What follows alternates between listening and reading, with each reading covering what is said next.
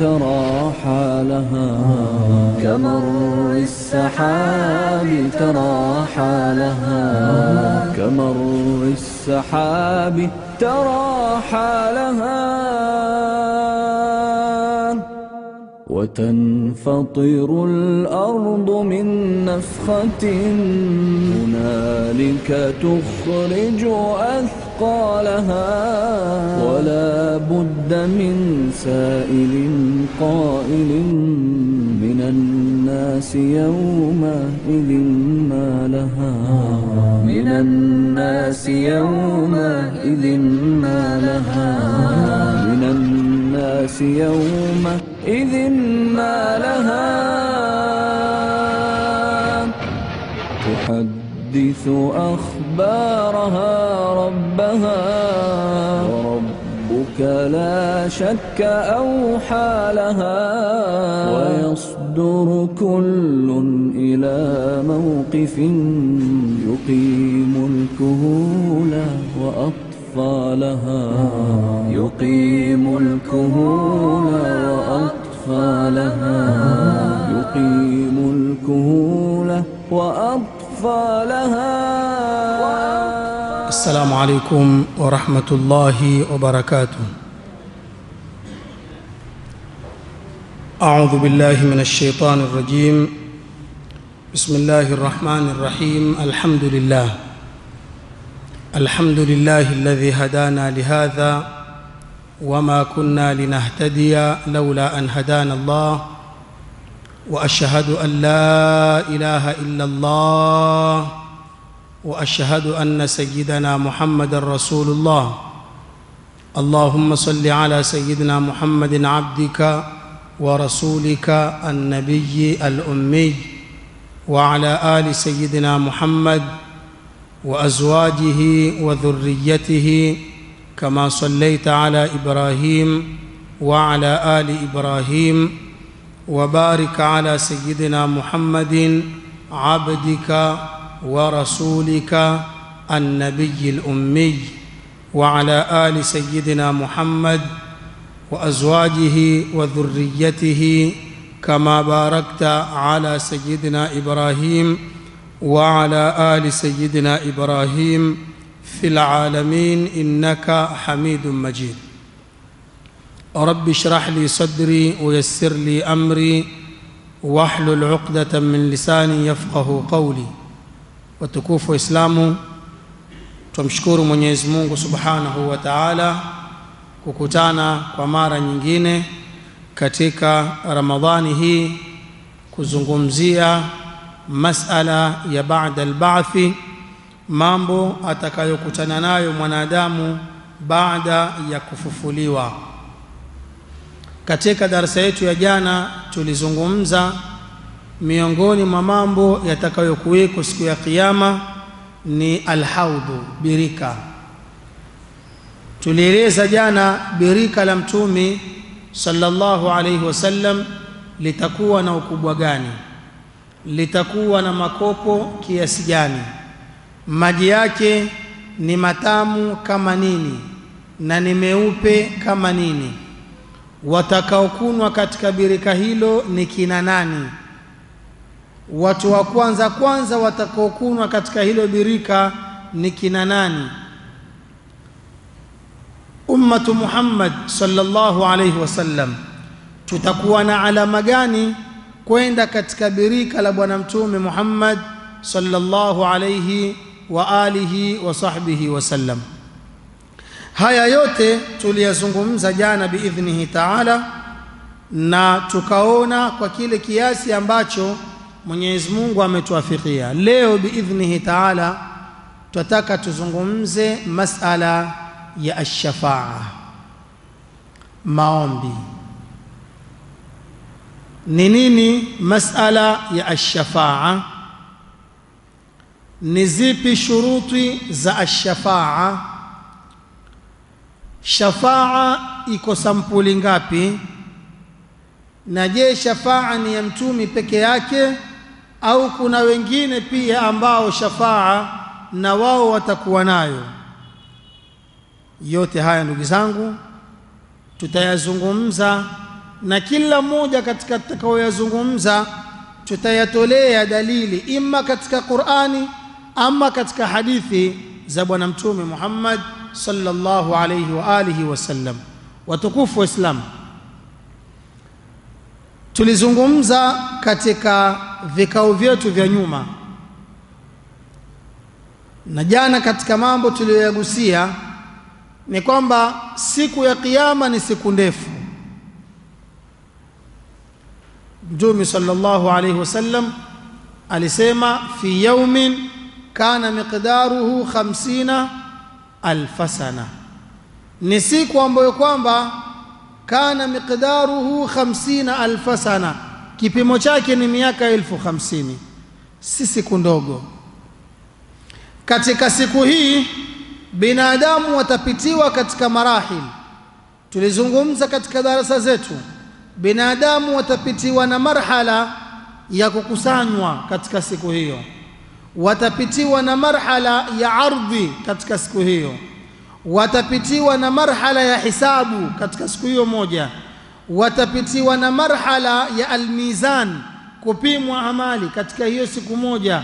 Watapitiwa na marhala ya alhaudhu kwenda katika birika la bwana mtume Muhammad sallallahu alayhi wasallam.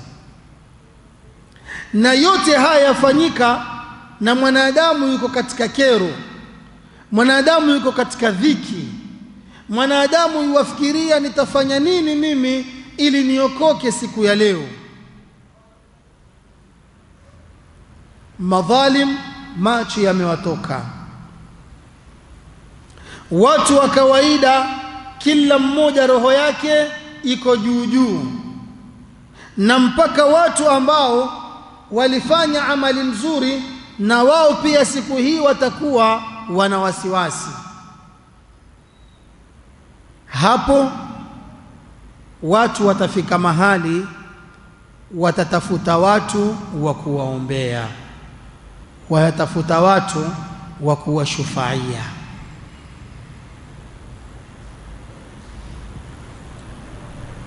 Mtume sallallahu alayhi wa alihi wasallam katika hadithi yasema u'titu khamsan lam yu'tahunna ahadun qabli. Nimepewa mambo matano. Matano haya hakuna mtumi yoyote katika mitume walionitangulia amepewa haya mambo matano. Nimepewa mimi peke yangu. Mtume akasema jambo la kwanza nusirtu birru'bi masirata shahrin. Nimenusuriwa na uoga mwendo wa mwezi mzima baadhi ya shurahu lhadith katika kueleza hadithi hii wasema maana yake ni kwamba mtume Muhammad alayhi salatu wassalam maadui wakipata habari kuwa yuwaja kwa mwezi mzima maadui wana babaiko maadui wana wasiwasi kwa kusikia habari kwamba mtume alayhi salam yuwaja. Jambo hili hakuna mtume mwingine aliyepewa illa ni mtume Muhammad. Jambo la pili mtume akasema wa uhillat liya alghanaimu na mimi nimehalalishiwa kula ghanima ngawira. Ile mali ambayo watu huipata wakienda katika jihadi. Mitume waliotangulia walikuwa hawaruhusiwi kuila. Watu wakaenda katika jihadi wakipata ghanima huichukua ile ghanima wakaiweka mahali kwenye mlima ikaja moto ikaunguza ghanima ile. Lakini wakati wa mtume Muhammad sallallahu alaihi wasallam imekuwa ghanima ni halali kutumika ni halali kuliwa. Mtume asema uhillat liya alghanaimu wa lam tahilla li ahadin qabli. Kabla yangu mitume walikuwa si halali kula ghanima. Jambo la tatu mtume asema waju'ilat liya al-ardu masjidan wa tahura. Na ardhi imejaliwa kwangu mimi ni msikiti na ni tahara. Yani ikiwa sina maji naweza nikatayamam na hii ardhi. Na ikiwa siko msikitini kuswali mahali popote katika ardhi maadamu ni pasafi naweza nikaswali na swala yangu itakuwa ni sahihi. Mtume akasema fa ayyuma rajulin min ummati. Adarakatuhu salatu falyusalli. Basi yoyote katika umma wangu swala ikimpata mahali popote aswali. Kwa sababu hii ardhi ni tahur na hii ardhi ni msikiti. Kisha mtume akasema wa utitu shafaa. Mimi nimepewa shafaa. Shafaa ni maombi. Nimepewa mimi maombi wa kullu nabiyyin bu'itha ila qaumihi khassa na kila mtumi alitumilizwa kwa jamaa zake peke yake. Wa bu'ithtu ila nnasi amma ama mimi nimetumilizwa kwa watu wote. Haya ni mambo matano amepewa mtumi sallallahu alaihi wasallam hakupewa mtu mwingine yoyote katika mitumi waliotangulia. Waislamu ndugu zangu ni nini maana ya ashafaa ashafaa maana yake ni kumwombea mtu jambo la kheri. Hii ndiyo maana ya ashafaa ashafaa maana yake ni mtu ambaye kwamba yualitaka jambo na amejaribu hafikii. Lakini wewe una njia ya kumsaidia ukenda ukimwombea mtu kama yule hiyo ndio huitwa nini? Ashafaa kwa mfano leo kuna watu hutaka kuwaona baadhi ya wanasiasa. Na ikawa hakuna namna ya kuwapata wanasiasa wale. Wakati kuna watu wengine ambao wanasiasa wale hula na wao chakula kila siku. Yule mtu akenda akakuombea mpaka ukapata nafasi ya kuzungumza na mwanasiasa hii ndiyo inayoitwa ashafaa maombi. Na siku ya kiyama itakuweko. Lakini ndugu zangu shafaa ya siku ya kiyama ina sharti mbili. Shafaa ya siku ya kiyama ina sharti mbili. Sharti mbili hizi zisipothubutu shafaa haitosilihi. sharti ya kwanza mwenyezi mungu subhanahu wa taala ni ampe ruhusa mwenye kushufaia. Kwa lugha nyingine siku ya kiyama hakuna yoyote atakayemshufaia yoyote ila baada ya kupewa ruhusa na Mwenyezi Mungu amshufaie mtu yule. Siku ya kiyama. Tutakuja kuzungumza mbele kwamba kuna shafaa za mitumi kuwashufaia watu, kuna shafaa za shuhada waliokufa katika vita kuwashufaia watu, kuna shafaa za watu wema kuwashufaia watu wengine. Lakini hawa watu wema, hawa mitumi, hawa mashahidi na wengineo hawapewi nafasi ya kumshufaia mtu ila kwanza Mwenyezi Mungu awaruhusu wao kwamba fulani waweze wakamshufaia. Hili ni jambo la kwanza, sharti ya kwanza. Sharti ya pili, yule anayeshufaiwa ni lazima Mwenyezi Mungu awe yuko radhi na yeye, yaani haiwezekani ashufaile mtu ambaye Mwenyezi Mungu hayuko radhi na yeye. Lazima anayeshufaiwa awe Mwenyezi Mungu yuko radhi na yeye. Hapa litakuja swali. Mtume sallallahu alayhi wasallam asema shafaati li ahli alkabairi, shafaa yangu ni ya wale watu wanaofanya madhambi makubwa makubwa, hawa ndio nitakao washufaia. Sasa je, wanaofanya madhambi makubwa makubwa Mwenyezi Mungu yuko radhi na wao? Madhambi makubwa ni madhambi, madhambi madogo ni madhambi lakini jawabu ambalo kwamba ni la karibu katika masala haya ni kwamba Mwenyezi Mungu Subhanahu wa Ta'ala hatoruhusu yoyote ambaye amefanya dhambi ya shirki kushufaiwa, kama namna ninavyozungumza ulama. Ama haya madhambi makubwa makubwa mengine, Mwenyezi Mungu atamruhusu mtu amshufaie mwenzake, hata kama atakwenda kuchomwa kwa kadiri ya madhambi yake hata kama ataingia motoni kwa kadiri ya madhambi yake lakini maadamu alishufaiwa mtu kama yule ataingia peponi. Mwenyezi Mungu Subhanahu wa Ta'ala kwenye Qur'ani asema wala tanfa'u shafa'atu indahu illa liman adhina la. Shafa'a haitonufaisha ila kwa yule aliyepewa ruhusa kushufaia. Idhni. Ama kwa yule anayeshufaiwa kwamba Mwenyezi Mungu awe radhi na yeye Mwenyezi Mungu asema fama tanfa'uhum shafa'atu shafi'in. Hayatowanufaisha wao maombi ya wenye kuwaombea Mwenyezi Mungu Subhanahu wa Ta'ala akazikusanya sharti mbili hizi ya kutoa idhni na kuwa radhi na yule anayeshufaiwa akazikusanya katika aya moja aliposema yauma idhin la tanfa'u shafa'atu illa man adhina lahu wa radhiya lahu qawla.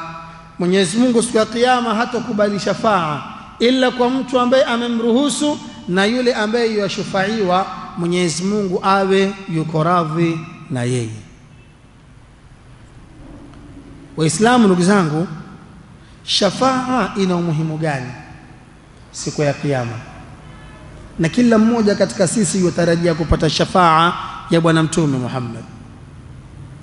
Kila mmoja katika sisi yutarajia kupata shafaa ya watu wema waliotangulia.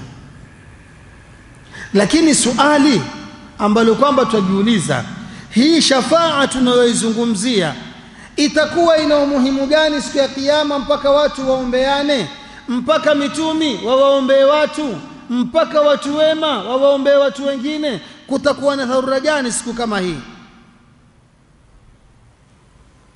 Dharura yake ndugu zangu Waislamu ni kwamba mtumi Muhammad sallallahu alaihi wasallam atawashufaia watu wengi waingie peponi.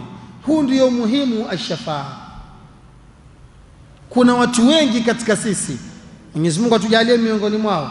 Siku ya Kiyama kuna watu wengi ambao amali zao zitakuwa zina upungufu. Maelfu, mamilioni ya watu siku hiyo wataingia peponi kwa sababu ya shafaa ya Bwana Mtume Muhammad sallallahu alaihi wasallam. Siku moja Mtume amelala asubuhi, baada ya kuswali, abauliza masahaba, awambia atadruna ma khayyana ma khayyarani rabbi llaila, mwajua usiku wa kuamkia leo Mwenyezi Mungu amenitauzisha nini? Usiku wa kuamkia leo kuna mambo Mwenyezi Mungu aliniwekea hili hili hili, kisha akanambia katika haya mambo chagua moja. Mtume sallallahu alayhi wasallam alipouliza maswahaba, maswahaba wakamwambia Mtume, Allahu wa rasuluhu aalam, Mwenyezi Mungu na mtume wajua zaidi kile ambacho kwamba umeteuzishwa usiku wa kuamkia leo. Mtume sallallahu alayhi wasallam akamwambia, Mwenyezi Mungu ameniteuzisha, fa innahu khayyarani baina an yadkhula nisfu ummati aljanna wa baina ash-shafa'a. Mwenyezi Mungu usipokuwa mkia leo amenambia chagua moja kati ya mambo mawili, imma nusu ya umma wako ingie peponi, nusu kwa nusu, ni watu wengi, nusu kwa nusu, watu waingie peponi, au chagua siku ya Kiyama nikupe nafasi ya kuwaombea umma wako waingie peponi. Weza ukaona nusu ni nyingi, ukasema mimi nataka hii nusu. Mtume akasema fakhtartu shafaa, mimi sikuchagua nusu, mimi nimechagua shafaa. Kisha Mtume alipofika hapa sallallahu alayhi wa alihi wasallam, masahaba akamwambia Mtume, ya Rasulullah, ud'u Allah lana an yaj'alana minhum, tuombe Mungu na sisi siku ya Kiyama tuwe ni katika utakao wa shufaia Mtume akawaambia, hiya likulli muslim shafaa yangu ni ya kila Muislamu. Sasa ndugu zangu watukufu, ikiwa mtume ameambiwa achague imma nusu ya umma wake waingie peponi au aache siku ya Kiyama aende akawashufaie, mtume akasema nataka kushufaiwa, nitakuwa shufaia. Wewe waona watakaoingia peponi ni, ni watu kidogo? Watakaoingia peponi kwa shafaa ya mtumi ni zaidi ya nusu ya ummatu Muhammad. na ndio Mtume sallallahu alaihi wasallam akaiacha hii nafasi ili siku ya Kiyama aitumie umma wake wengi waingie peponi, bali Mtume asema hiya likulli muslim, kila atakayekufa hali ya kuwa ni Muislamu atarajia siku ya Kiyama ataipata shafaa ya Bwana Mtume Muhammad sallallahu alayhi wa alihi wa sahbihi wasallam. Kwa njia nyingine, kila mtumi katika mitume waliotangulia, kila mtumi alipewa nafasi ya dua moja. Kila mtumi akitumilizwa, Mwenyezi Mungu humwambia omba dua zote, tutakujibu, lakini nakupa nafasi moja ya dua. Ukiomba hiyo dua ni hapo kwa hapo utapata. Kila mtumi katika mitume waliotangulia aliomba. Kuna mitume wengine wao dua ile waliipatiliza, wakawapiza jamaa zao, kama Nabii Nuhu, rabbi la tadhar ala al-ardi min al-kafirina dayara innaka intadharuhum yudhillu ibadak wala yalidu illa fajiran kafara. Nabii Nuhu dua yake aliipatiliza. Nabii Suleimani aliipatiliza, akaomba utajiri. Kila mtume yani, hiyo ni dua. Yule mtume akiinua akisema, ya Rabbi, ile dua yangu moja ulionipa, ile nafasi moja ulionipa, nipe kitu fulani, hapo hapo Mwenyezi Mungu atampa. nabi Nuhu alipowapiza watu wake, hapo hapo ikajibiwa. nabi Suleimani alipoomba utajiri, hapo hapo utajiri akaupata. Na kila mtume aliomba. Mtume Muhammad sallallahu alaihi wasallam asema, mimi nilikataa kuomba kwa vile dua yangu moja nimeiweka na ngoja siku ya Kiyama nataka nitumie katika kuwashufaia umma wangu. Mtume sallallahu alaihi wasallam asema, likulli nabiyin da'watun mustajaba, kila mtume ana dua inayojibiwa. Fataajjala kullu nabiyin da'watahu, kila mtumi ashafanya haraka, ameomba. Wa inni, na mimi mtumi wenu ikhtabatu da'wati, ile dua yangu nimeificha, shafaatan liummati yauma alqiyama, kwa sababu siku ya Kiyama kupitia kwa hiyo dua yangu nataka niwashufaie umma wangu. Kisha mtume akasema, fahiya nailatun, shafaa yangu itapata insha Allahu taala man mata min ummati la yushriku billahi shay'a, shafa yangu itampata kila ambaye atakufa katika huu umma hamshirikishi Mwenyezi Mungu. Na ndio maana tukasema watakaoingia peponi katika ummatu Muhammad ni zaidi ya nusu, kwa sababu kila aliyekufa hamshirikishi Mwenyezi Mungu ataipata shafaa ya Bwana Mtume Muhammad sallallahu alayhi wa alihi wa sahbihi wasallam. Na hapa ndugu zangu, ndipo utakapoona mapenzi ya Mwenyezi Mungu kwa mtumi na ndipo utakapoona mapenzi ya mtumi kwetu sisi. Ndugu zangu, ukisoma taarikhi, mtume alikuwa akiishi maisha ya dhiki, sisi matajiri. Mama Aisha asema siku tatu nyumbani hakuwashwi jiko, siku tatu nyumbani hakuwashwi jiko. Akaulizwa mwaishi vipi? Asema twaishi na tende na maji, yani hata unga watu angalau kutengeza ile uji watu hakuna siku tatu hakujawashwa jiko. Ikifika asubuhi mtu aletende na maji, mchana mtu aletende na maji, ikifika usiku ntende na maji. mtumi akiingia huuliza kwa mke wake, kuna nini leo huku nyumbani? Mke akimwambia hakuna kitu, mtume mwambia ameshafunga hivi, ndio kwenye saumu hivi. Kuna ile somo lazima lazima, si ndio? Akiingia kama hakuna kitu, humwambia mkewe, mimi nishafunga, niko kwenye saumu hivi kama kuna kitu ndio awekewe ale. Mtume alikuwa anao nafasi hii dua yake kuitumia katika utajiri kama walivyoitumia watu wengine. Hii dua yake Mtume alikuwa ana nafasi ya kuomba awe mfalme, awe milionea, lakini mwangalie Mtume Muhammad ameishi maisha ya dhiki.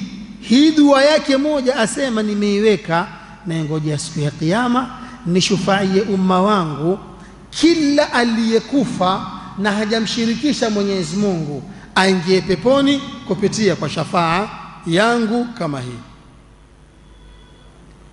Katika hadithi nyingine Mtume sallallahu alaihi wasallam atueleza atuambia waadani rabbi an yudkhila aljannata min ummati sabina alfan la hisaba alaihim wala adhab.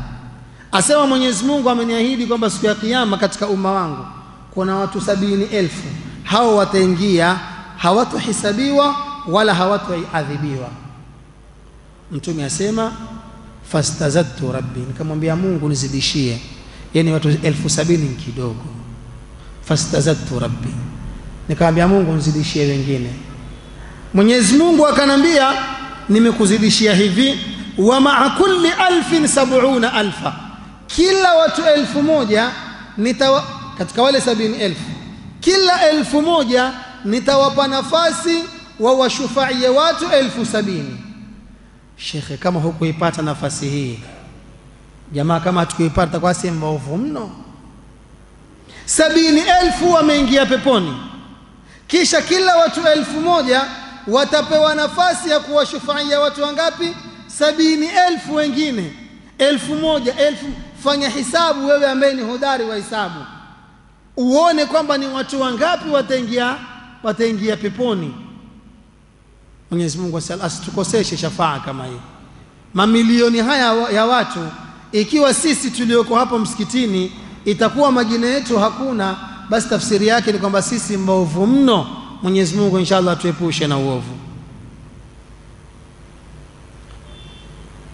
Shafaa ndugu zangu siku ya kiama ziko lakini shafaa ziko sampuli mbili.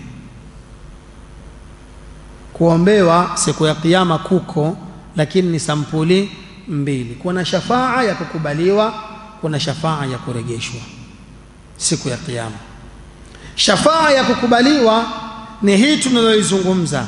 Shafaa ya mitumi shafaa ya kina nani? Shafaa ambayo kwamba haikubaliwi ni ile shafaa ambayo leo watu wanayo.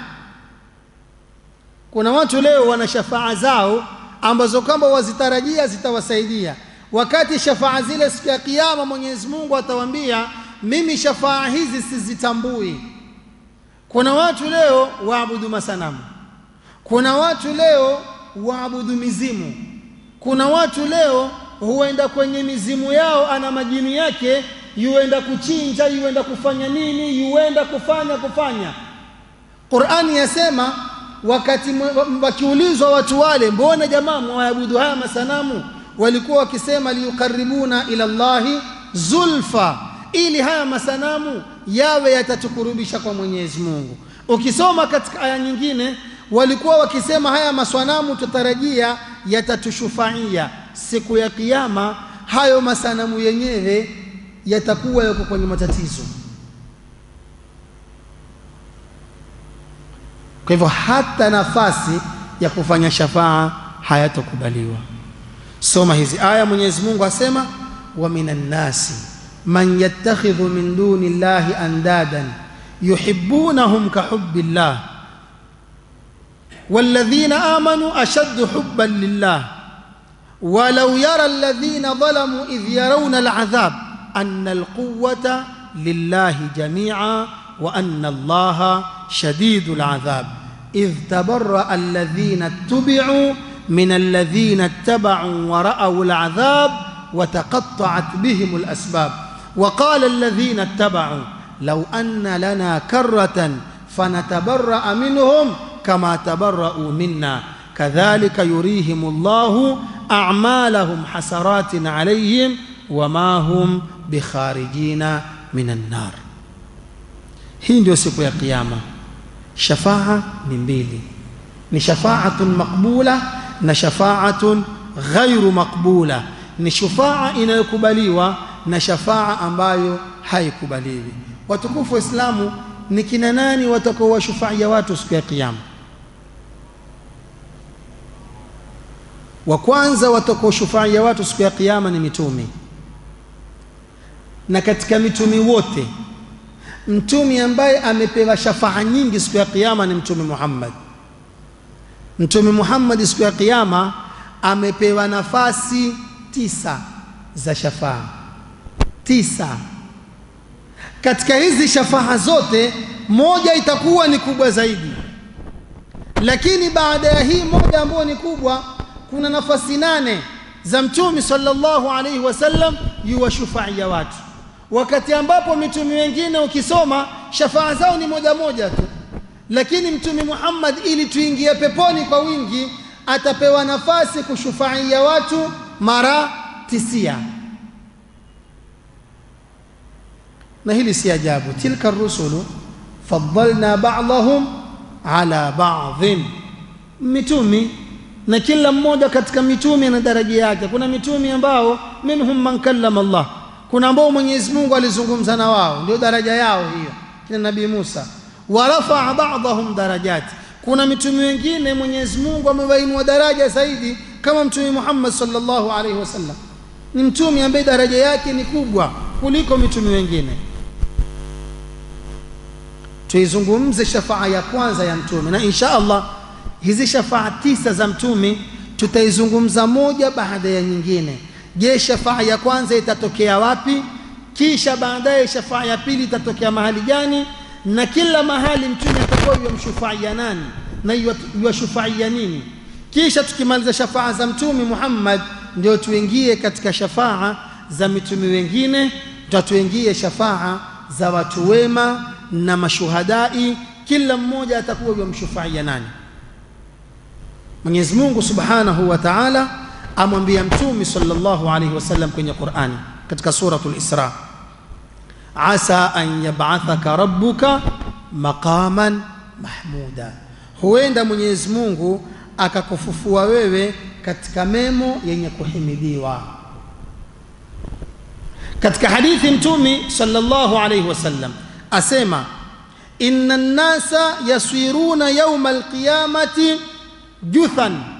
Siku ya kiyama watu watafika wakati watu wanchoka. Dhiki. Mtume asema itafika kipindi watu watapiga magoti. Hawawezi tena kusimama. Mtume asema kullu ummatin tatba'u nabiyaha siku hiyo kila kila umma watakuwa wakimfuata mtumi wao. Yakuluna wamwambia mtumi wao ya fulan ishfa lana ya fulan ishfa lana. Kila umma watu wa nabii Musa watachoka watapiga magoti. Wataamua tumtafute nabii Musa tumwambie atuombee. Haya mambo hapa ilipofika ni sasa ni yamepita ya mipaka. Watu wa nabii Isa na wao watachoka watapiga magoti. Watu wa nabii Muhammad watu wa nabii Ibrahim kutafika wakati watu wamechoka wamepiga magoti. Watu wakisimama hawataki mazungumzo. Wao watafuta mitumi wao wawaombee watu kama wale hii ni hadithi ya bwana mtume Muhammad sallallahu alayhi wa alihi wa sahbihi wasallam mtume sallallahu alayhi wasallam katika hadithi nyingine anasema ana sayyidu waladi adama yawma alqiyamati wala fakh siku ya kiyama watoto wa nabii adam wote mimi nitakuwa ndiye bwana wao na wala sizungumzi kwamba najifakhiri. Wa ana awwalu man tanshaqqu anhu al-ardu yawma al-qiyama. Siku ya kiyama mtu wa kwanza ambaye ardhi itapasuka ukiviviwa parapanda ardhi itapasuka atoke ndani ya kaburi. Mtume asema ni mimi. Wa ana awwalu shafi'in. Na siku ya kiyama mimi ndiye mtu wa kwanza nitakayemuomba Mungu kuwaombea umma wangu wa awwalu mushaffa'in. Na ndiye mtu wa kwanza ambaye akiomba maombi yake yatakubaliwa moja kwa moja. Sasa ndugu zangu shafaa hii itakuwa namna gani? Watu watamwendea kila mtumi kulalamika hisabu imalizike. Wakwenda peponi aende wakwenda motoni aende. Mtumi sallallahu alaihi wa alihi wasallam asema itafika wakati watu wote watakubaliana waende kwa nabii adam. Watamwambia nabii adam anta abul bashar wewe ndiye baba wa viumbe. Mwenyezi mungu amekuumba yeye mwenyewe akakuvivia roho yeye mwenyewe akawaamrisha malaika wakusujudie. Watamwambia Nabi adam ala tara ma, kad, ma nahnu fihi? Hele tuangalie hali tulio. Siku moja ni ndefu hii. Kila mmoja dhiki imemshika. Ala tara ma nahnu fihi? Ala tara ma kad balaghana huoni hali tuliofikia? Watamwambia Nabi adam ishfa lana ila rabbika. Tuombee muombe mwenyezi mungu basi haya mambo leo yamalizike. Nabi adam atawaambia watu hapana inna, inna rabbi qad ghadhiba alyawma ghadaban lam yaghdhab qablahu mithlahu wa lan yaghdhaba ba'dahu mithlahu. Atawaambia jamaa leo Mungu ana hasira. Kuanzia Mungu aumbe hajakasirika kama leo na hatokasirika baada ya leo. Anayezungumza haya nani? Nabi Adam. Kisha atawaambia jamaa wa innahu nahani ani shajara msisahau kwamba Mungu alinikataza kukula mti mimi nikaula nikamuaswi kwa hivyo mwataka mimi niende kwa Mungu ambaye amekasirika. Wakati mimi mwenyewe kuna nina langu aliniambia nisile nkala atawambia nafsi nafsi nafsi. Leo mimi mwenyewe naiangalia nafsi yangu. Mimi mwenyewe leo nina wasiwasi. Kisha atawaelekeza atawambia nendeni kwa Nuhu. Pengine Nuhu aweza akawasaidia. Binadamu sote kwa pamoja tuelekee mpaka kwa nabii Nuhu. Tukifika kwa nabii Nuhu tumsifu nabii Nuhu tumwambie anta awwalu rusul wewe ndiye mtumi wa kwanza. Wasamaka Allahu abdan shakura Mwenyezi Mungu alikuita wewe ni mja mwenye kushukuru. Tumwambie nabii Nuhu tuangalie hali tuliyo leo dhiki. Tushufaie kwa Mwenyezi Mungu haya mambo yamalizike. Nabii Nuhu atawaambia jamaa Mungu leo ankasirika hasira ambazo hajawahi kukasirika na hatokasirika. Kisha atawaambia msisahau kuwa mimi niliwaapiza jamaa zangu jamaa zangu waliponichokesha niliwaapiza Mungu awaangamize wote ambapo ilikuwa lile apizo yeye atalichukulia kwamba ni kosa. Atawaambia jamaa mimi mwenyewe leo nina wasiwasi. Mungu akiniuliza mbona uliwaapiza watu wako wote? Nina wasiwasi nitajibu nini? Mimi siwezi kuwa shufaia. nafsi nafsi nafsi. Mimi mwenyewe leo naiangalia nafsi yangu. Atawaambia nendeni kwa mtu mwingine. Nendeni kwa Ibrahim. Pengine Ibrahimu atawasaidia binadamu sote tushuke kwa nabii Ibrahim. Nabii Ibrahimu tukifika tumwelezee tumsifu tumwambie wewe ni khalilullah wewe ni bui wa Mwenyezi Mungu katika ardhi. Tuangalie hali tulio tushufaie nabii Ibrahimu awaambie jamaa leo Mungu amekasirika hasira nyingi na mimi nilizungumza urongo mara ngapi? Mara tatu. Sijui itakuwa hali gani leo. Lau nitaulizwa ilikuwaje mtume mzima ukazungumza urongo mara tatu nitajitetea nini? Nafsi nafsi nafsi. Mimi mwenyewe leo naiangalia nafsi yangu. Siwezi kuwa shufaia idhhabu ila ghairi. Nendeni kwa mtu mwingine. Helendeni kwa Musa mkajaribu pengine Musa atawashufaia sote tushuke kwa nabii Musa. Nabii Musa naye azungumze hayo hayo. Awambie jamaa kuna mtu mimi nilimpiga kofi nikamuua. Msisahau hilo je Mungu akiniuliza leo ilikuwaje ukampiga mtu kofi ukamuua mtasema nini? Na Mungu leo ana hasira mimi siwezi kuwa shufaia. Idhhabu ila ghairi nendeni kwa mtu mwingine. Atatuambia nendeni kwa Isa pengine Isa ataweza.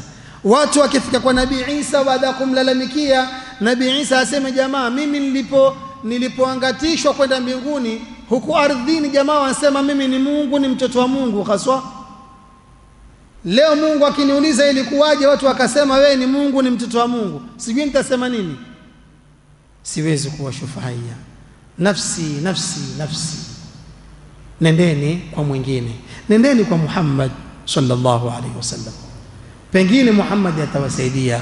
Umma sote tumiminike kwa bwana mtume Muhammad sallallahu alaihi wasallam.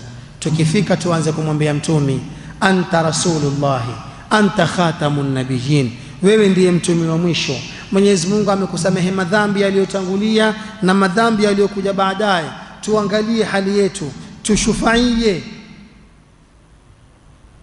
Mtume sallallahu alaihi wa alihi wasallam asema mimi sitowaambia siwezi ndeni kwa mwingine. Mtume asema mimi nitawaambia ana laha. Hii shafaa mwenyewe mimi hapa. Huko kote mlikozunguka ilikuwa mwisho lazima moja wapi muje kwangu kwa sababu hii shafaa ya leo ni yangu. Mtume sallallahu alaihi wasallam asema niende katika arshi ya Mwenyezi Mungu. Nikifika nitasujudu.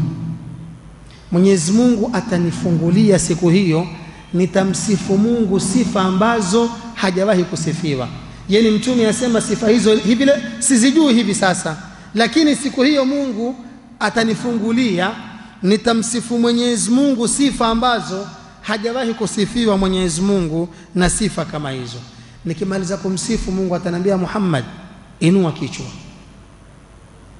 Mtume asema nitaondoka katika kusujudu nitainua kichwa. Nikiinua kichwa mwenyezi mungu ataniambia wataka nini? Sema utakacho leo. Mtume asema jambo la kwanza nitakalosema nitamwambia mwenyezi mungu ummati ya rabbi ummati. E mola wangu umma wangu waangalie kwa jicho la huruma hawa umma wangu ya rabbi waangalie kwa jicho la huruma. Ya rabbi ummati ummati ya rabbi ummati ummati. Mwenyezi mungu atamwambia mtume sallallahu alaihi wasallam adkhil min ummatika man la hisaba alaihi min albabi alayman. Pepo ina milango minane. Pepo ina milango minane moto una milango saba. Mtume ataambiwa chukua katika umma wako watu ambao hawana hisabu. Ni watu wengi. Waamrishe waingie peponi bila kuhesabiwa. Lakini mlango watakaoingia nao ni albabul ayman. Ni ule mlango wa upande wa kuliani watumie mlango ule. Huo ni mlango mahsus. Hakuingia watu wengine.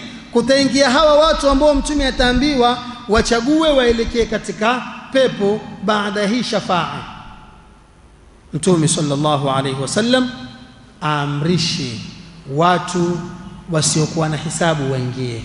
Mwenyezi mungu atujalie na sisi tuwe ni miongoni mwao. Kisha ile milango mingine itakayobakia tutashirikiana. Wataingia hawa wataingia hawa. Lakini huu mlango huu tunaozungumza watakaopewa nafasi ya kuingia ni hawa peke yake hakuna wengine watakaoingia. Sasa hii ndiyo inayoitwa ashafaatu ludhma shafaa kubwa na ndiyo pale mtu akiadhini baada ya adhana twasoma twasema allahumma raba hadhihi dawati tama والصلاة القائمة آت سيدنا محمدا الوسيلة والفضيلة وابعثه مقاما محمودا مقاما محمودا tunayomwomba mwenyezi mungu amfufue mtumi ni hii alshafaatu aludhma ni hii shafaa kubwa ambayo kila mmoja katika sisi yuwaitarajia siku ya Kiyama, pengine yeye awe ni katika watu watakaoingia ndani ya pepo kwa shafaa kama hii. Lakini ndugu zangu kama tulivyozungumza shafaa za mtume ni tisa. Hii tuliyozungumza ni ya kwanza. Mwenyezi mungu inshallah akituafikia katika darasa yetu ya kesho tutakuja kuendelea shafaa ya pili ya mtume shafaa ya tatu na kama tulivyosema kila shafaa tutaizungumza itatokea wakati gani na ni kina nani watakaoshufaiwa katika shafaa kama hiyo mwenyezi mungu inshallah asitukoseshe shafaa ya mtume kwa sababu ya madhambi yetu atujalie min alladhina yastami'una alqawla fayattabi'una ahsana ربنا تقبل منا انك انت السميع العليم وتب علينا انك انت التواب الرحيم ربنا آتنا في الدنيا حسنه وفي الاخره حسنه وقنا عذاب النار وعافنا واعف عنا واغفر لنا وارحمنا. أنت مولانا فانصرنا على القوم الكافرين. برحمتك يا أرحم الراحمين. وصلى الله على سيدنا محمد وعلى آله وصحبه وسلم. والسلام عليكم ورحمة الله وبركاته.